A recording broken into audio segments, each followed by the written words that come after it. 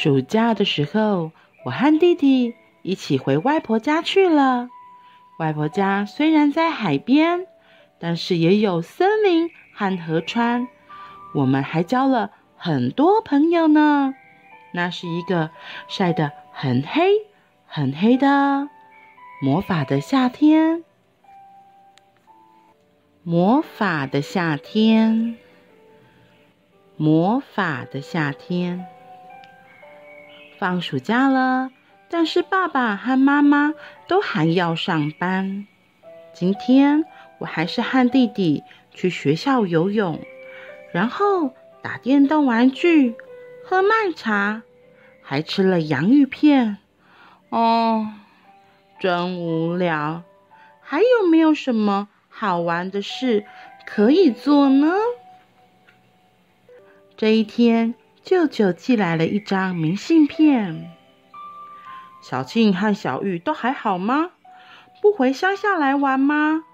如果你们回乡下的话，我会再带你们去海边玩哦。再见！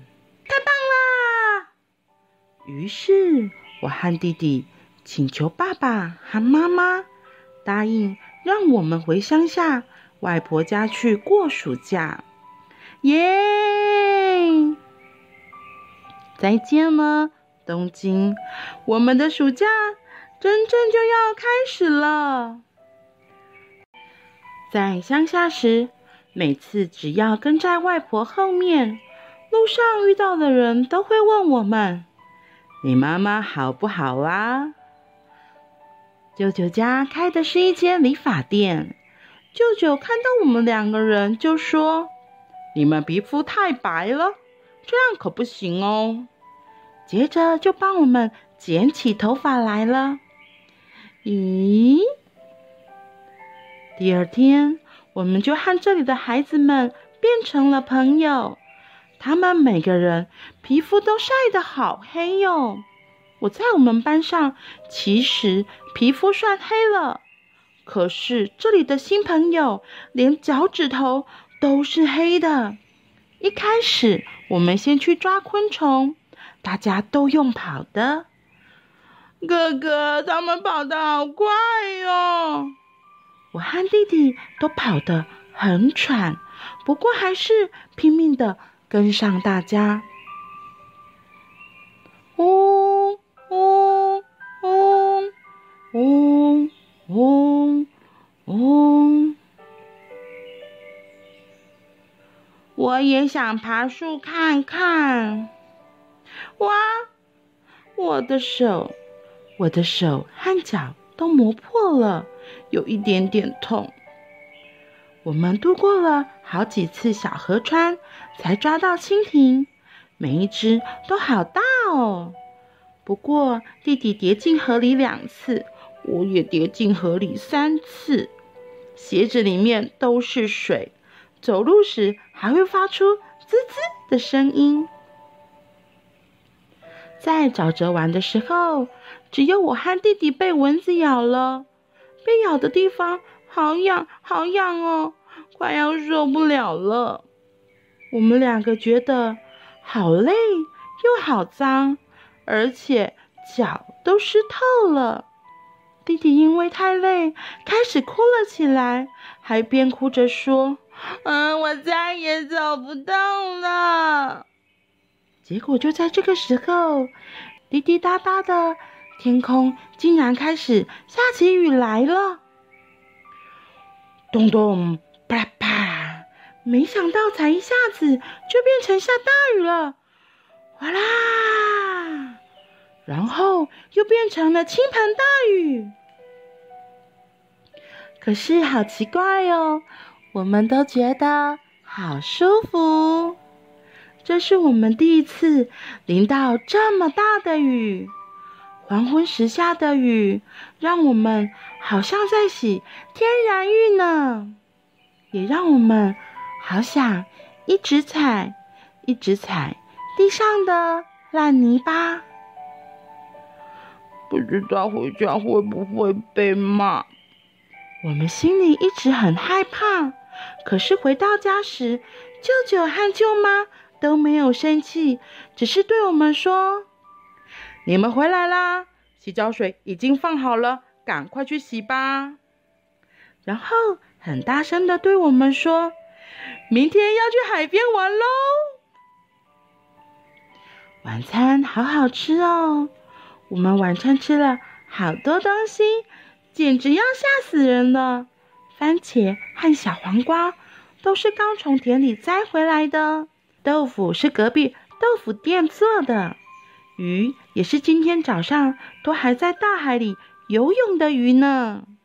吃完晚餐，我们什么也没做，就直接睡觉了。棉被干干爽爽的。还有太阳公公晒过的味道呢。第二天去海水浴场时，天气简直好到不行。在学校里游泳的时候，只能游一个小时，可是这里完全没有限制哦。我游得很高兴，甚至还接受舅舅的特训。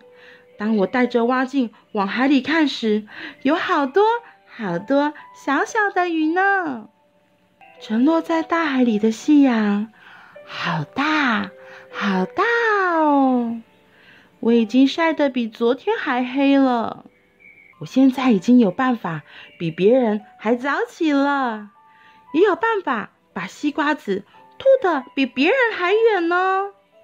吃冰棒时还中过两次，再来一只。